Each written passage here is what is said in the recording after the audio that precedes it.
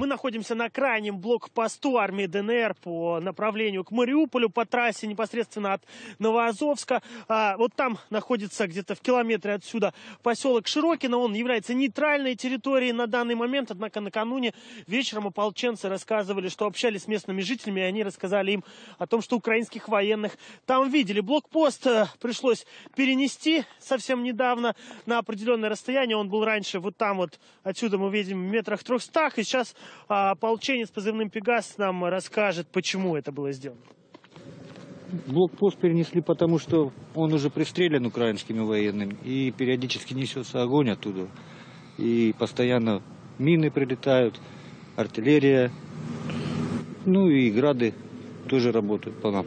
Там были у вас раненые, да, потери? Да, там двое бойцов наших погибло, вот, ну такие вот, и раненых шесть человек. Ну вот сейчас муссируется слух э, или информация о том, что ополченцы ведут активные наступательные действия на Мариупольском направлении. Так ли это? Вы вот на своих позициях каким образом держите? Нет, мы просто держим свои позиции, мы никуда еще пока не наступаем, ничего не это. Мы просто держим свои позиции, все. Вот вы видите сейчас на экранах своих э, дома, э, в общем-то, поселка Широкино. Рассказывают, э, напомню, ополченцы, что украинские военные регулярно туда заходят. Также там могут работать диверсионные группы а, и артиллеристы в том числе. Именно поэтому нам рекомендуют недалеко отходить от окопов передовых. В случае, если мы услышим свист мины, можно сделать 3-4 шага и, в общем-то, там а, переждать а, минометный обстрел. А, с работы снайпера никто не застрахован. Ну, сегодня, в общем-то, не было замечено диверсионных групп именно на этом направлении.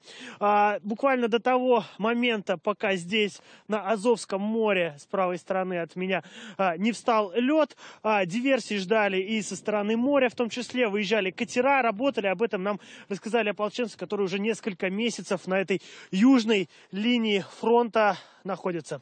Они на своих катерах выходили к нам в тыл и наносили удары, собственно говоря, ну, в состоянии там 2-3 километров по, по базе и дальше туда по безыменному. Вот здесь сейчас стоит, так сказать, наша техника, вот, стоят зенитные установки, но вы их сейчас не видите здесь. Вот, то есть море с этой стороны прикрыто на данный момент.